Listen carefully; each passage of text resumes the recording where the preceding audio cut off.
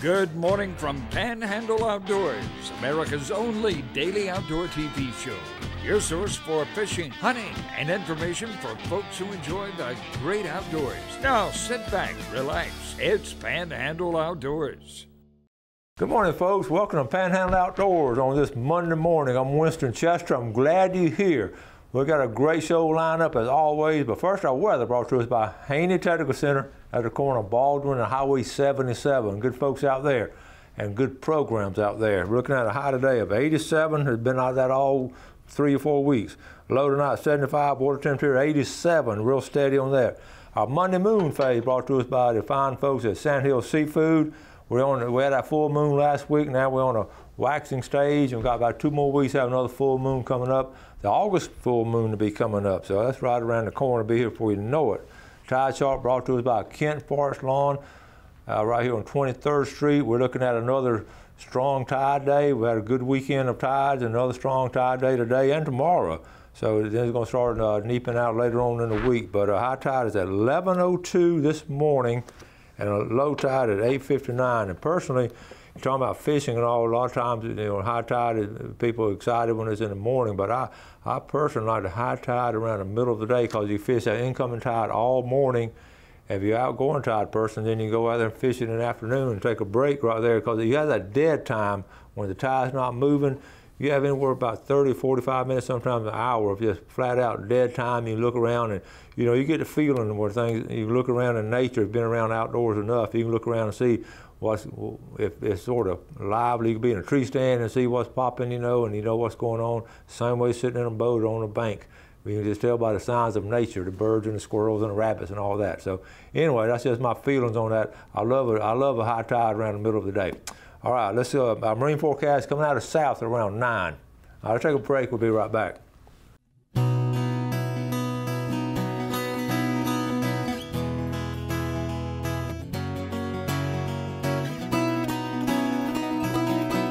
All right, welcome back. I was telling Jeff I don't have a whole lot planned uh, for the show today, so y'all just hang in there with me. I always tell my guests if we if they don't talk and run out of things to say, they're to have to sing. So if I'm singing toward the end of the show, you know I'll run out of things to talk about.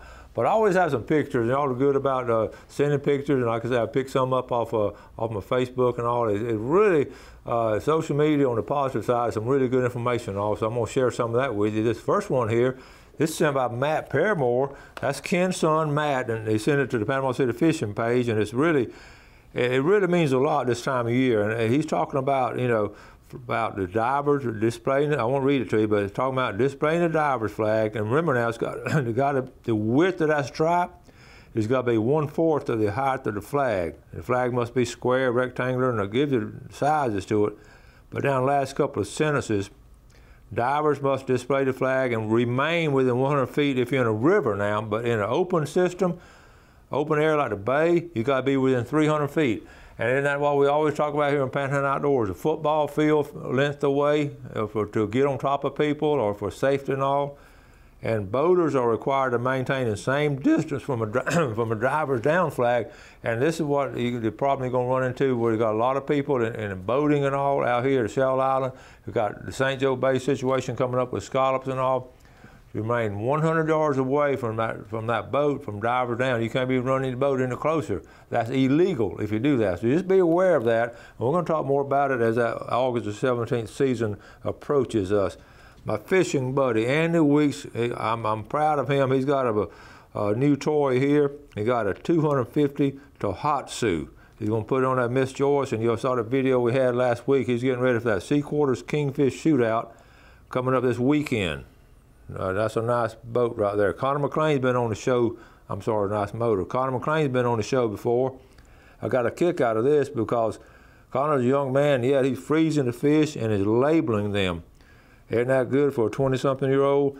Flounder, and always put a date on the fish when you freeze it. And he put speckles in the lower right hand corner, speckles sea trout, okay? Not, not just speckled trout, but speckled sea trout. and uh, good job, Connor McLean. That's a good catch right there, buddy. This has nothing to do with outdoors, but I ran across this. This makes a lot of sense. People are willing to arm teachers with guns, but they banned this. And this kept us all from acting like a fool back in the day bring this back.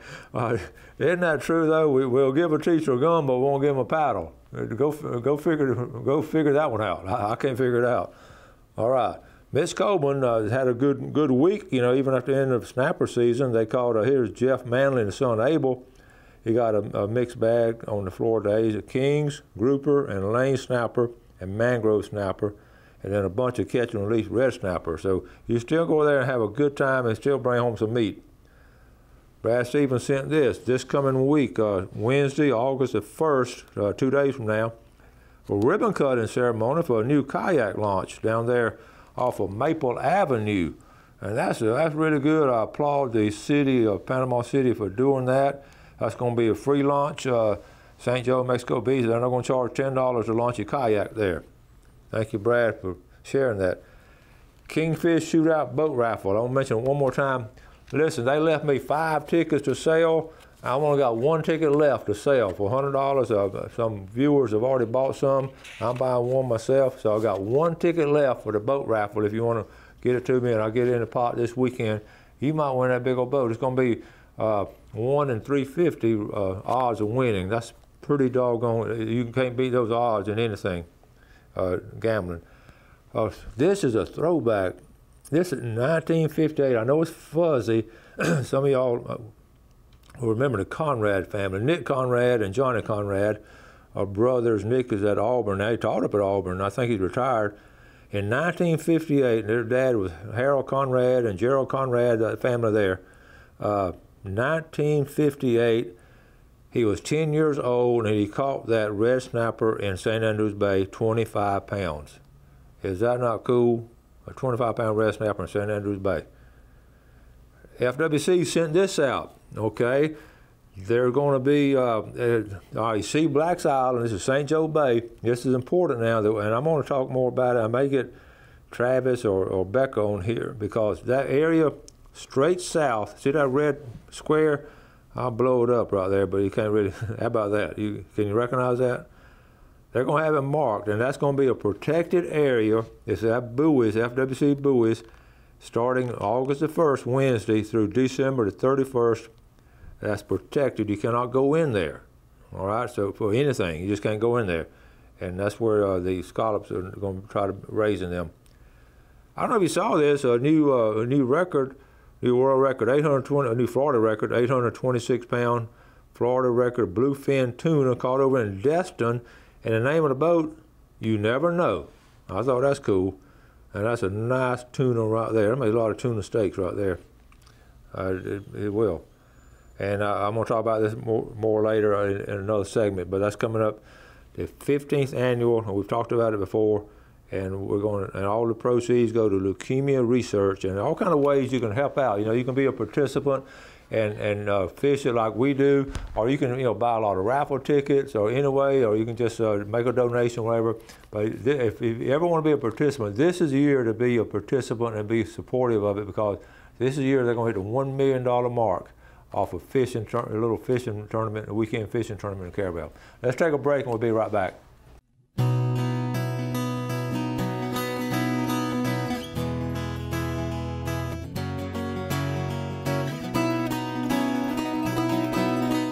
Okay, welcome back. On Friday show, when I had uh, Ronnie here, we, we talked about some the uh, Pompano, the state record Pompano, and the world record Pompano. So I looked it up. I want to go and show it to you. This is by the International down the bottom, that, that slogan right there, the International Game Fish Association. Uh, that's down outside of Miami. We've been to it before, but here it is, right here. The world record pompano was caught, okay, first of all, on bottom left to right, it weighed 8 pounds 4 ounces. The location, Port St. Joe Bay, Florida, USA. Caught in October the 16th, 1999 by Barry Houston and uh, that was it right there, and it's still recognized by the International Game of Fish as the as a state record.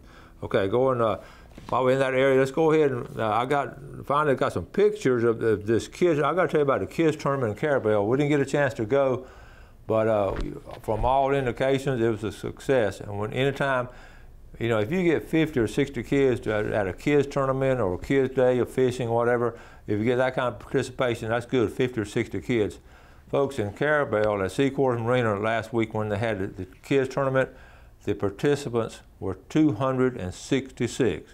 I'll repeat, 266 kids fished that kids tournament. That, that's, that's incredible. And I want to uh, thank all of the folks down there, all the volunteers and all the folks who took kids fishing.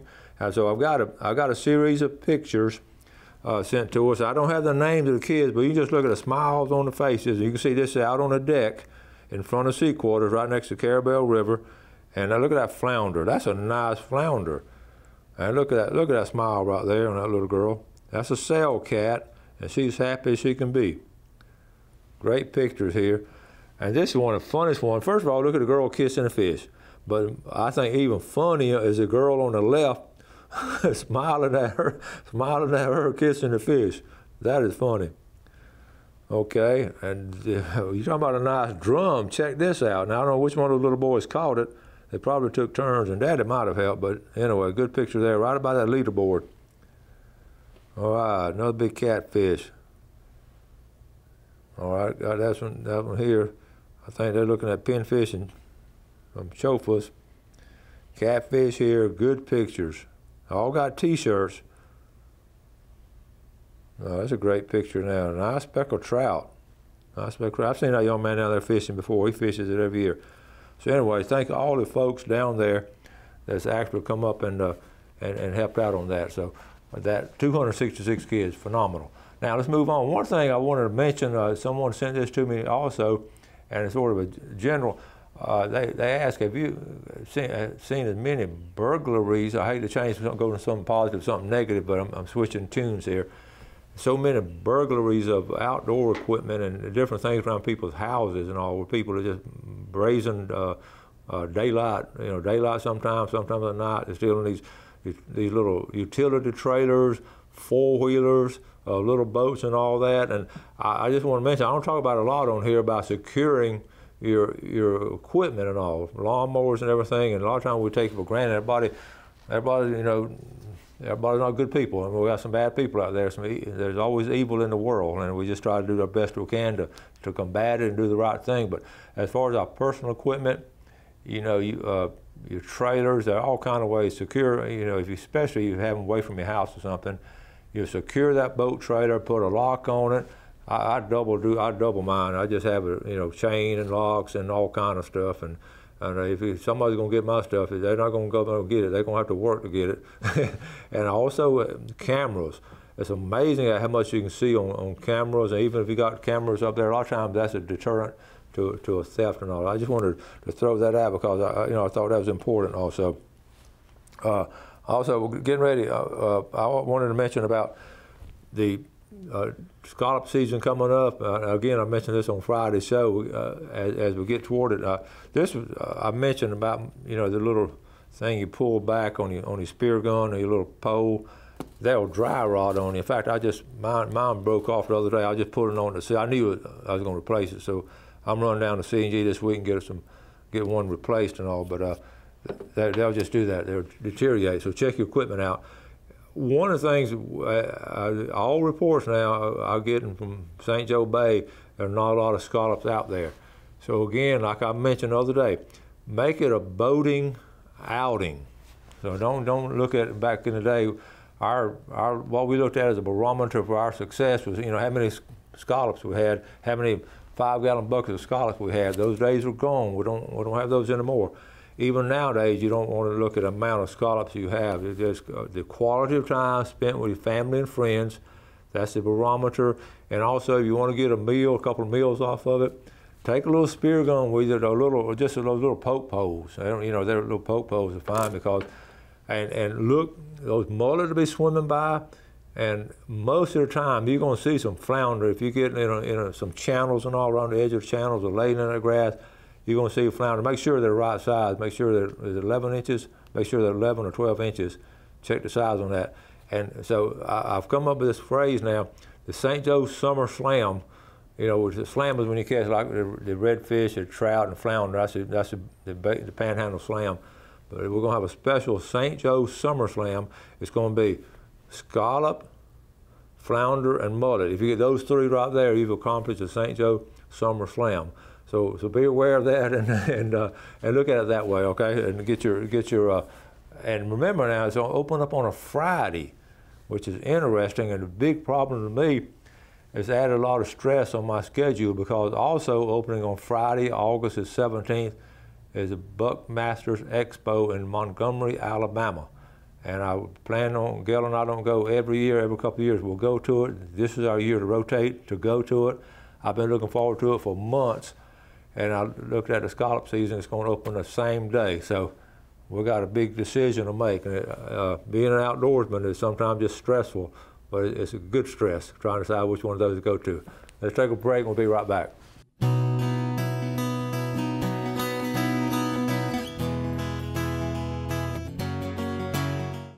Okay, welcome back. I apologize. I don't have fishing game times with me, and we'll try to get them to you. But uh, just go fishing if you got an opportunity to go go out in the woods right now if you get a chance. I wanted. To, I've been working on this. This is fascinating to me. I, well, we could, I showed the pompano and everything, but we're looking at some freshwater records, and you go to the FWC page, and, and they've done a good job with this and put this together. And I'm going to go down. I hope I get all of them in. I'm going to start at the top right here with a largemouth bass. Okay, here's a species, largemouth bass, 17 pounds is in, in Polk County. I got a buddy from Polk County in 1986, so that's the route we're going. What's cool, if it's in red, if it's in red like these in red, they have an actual picture of it. So I'm going to pop up the largemouth bass, and, and here's the guy that caught it in July of 1986, and that is still recognized. 17 pounds is the Florida state record. Okay, but now right below that they have a 20 pounder and it was caught in 1923. And in Pasco, that's that same area. And uh, but they, you know, back then the FWC was not able to get in there and, and validate it, but they put that in there because all the records show that you know that they everybody witnessed it and they weighed it on the scale and all that, but they just didn't recognize it. So anyway, there has been a 20 pounder caught here. All right, next one, the red eye bass in the Apalachicola River, home county, Gadsden County, in 1989. So let's take a look at that. Here it is right here. Red eye bass, seven pounds, the old state record. All right. Let's, let's move on down. Next is spotted spotted bass in Gulf County. How about Gulf County coming up with a record? 3.7 pounds in 85. So I think that's going to be broken pretty soon. Suwannee bass, of course, will be caught in the Suwannee River. We know that. But here we go again. Calhoun County, Chipola River, the shoal bass, 5.95 pounds. Okay, after that, we got the striped bass. this, now, 42 pounds. Folks, they get big. That's a lot of good fishing up there. After I to River, Gadsden County. That means when I read that, that's caught up there by the Jim Woodruff Dam, right there, uh, out right there by Chattahoochee. That's that's where they catch those big ones. Alfonso Barnes. Then a white bass, uh, again, Gadsden County, up there by the dam. Sunshine bass, Lake Seminole. In 1985, that's 1982. That, these are old records now. Lake Seminole in Jackson County. The black crappie, okay. The black crappie, 3.83 pounds, Lake Talquin. Ben Curry, I know the Curry family over there, 1992. Then a flyer, that's a little, flyer is recognized 1.3 pounds. That's going to be broken soon, Jackson County. All right, let's go to one we got a picture of. The bluegill, right at three pounds, 2.95, Crystal Lake, Washington County by John LeMaster in 1989. And we got a picture of that. Check it out. John LeMaster bluegill, two pounds. I mean, that's right at three pounds, isn't it? in April, the, that's, look, that's a big bluegill, it? April 19th. Uh, okay, good job. That was 1989. And we're going down to the redbreast uh, sunfish, Suwannee River, uh, red ear sunfish. Here we go, Merritt's Mill Pond. They're full of them right there. Four point, that's almost five pounds. Again, 1986, look at these right here, 84, 80, 86, the dates on the 85. All these are old records. Spotted sunfish, uh, how about a warmouth over in Okaloosa County on the Yellow River? We know where that is. And that was that was two pounds. That's a big that's a big warmouth, two and a half pound warmouth. A chain pickerel in Lake Talquin. The chain pickerel right there. I'm going to, to get through these, I'm going to speed up. Chain pickerel, I'm, uh, let's go on down. You can see uh, The common carp is vacant, so you can get your name in there. The regular carp, uh, well, they, that's an asterisk by it because they didn't verify it.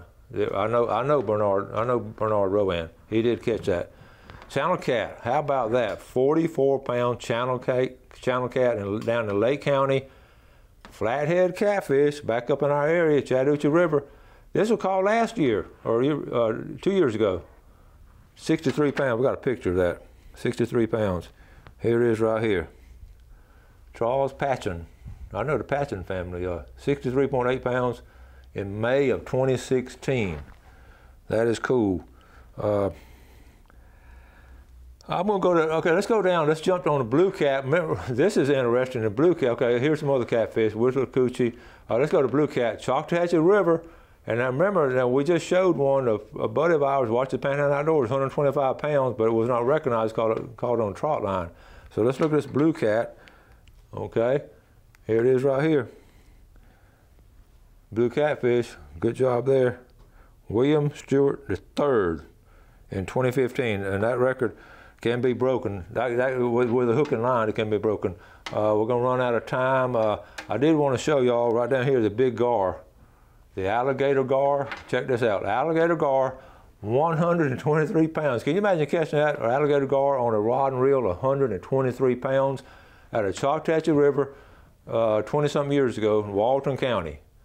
All right, so then these others are all in South, these are all South Georgia, I mean South Florida, and uh, butterfly peacock and all those. And then on the bottom, all these all these tropical fish. So, but yellow, last one, yellow perch right here, yellow perch. And here it is, David Arthur Thomas, Dead Lakes in 2005, 1.46 pounds. So you go to MyFWC, can, you can check these out. They got a, you can check out all of them. That's just a freshwater Florida state record verified by fish biologists and all by the measuring, by the weight. So I got a kick out doing that last night. I, I knew you, uh, I know y'all enjoyed watching that too. So hope you did. So anyway, I got to wrap it up. Y'all have a great day today. Have a great week and plan to do some outdoor stuff. Do something good today for your fellow man. Have a great day and God bless. Thanks for watching America's only daily outdoor TV show, Panhandle Outdoors with Winston Chester, featuring hunting, fishing, and other activities and information to help you enjoy the great outdoors. Join us next time for Panhandle Outdoors.